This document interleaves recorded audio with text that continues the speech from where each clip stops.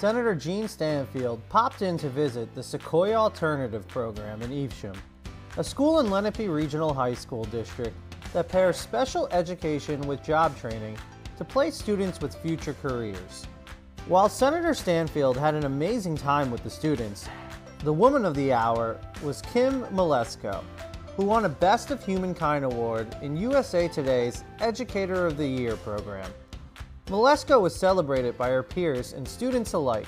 The USA Today gave you the Best of Humankind Educator of the Year. Not just Educator of the Year, but about humankind. And that tells me so much about Mrs. Mileszko. I know you have a wonderful heart.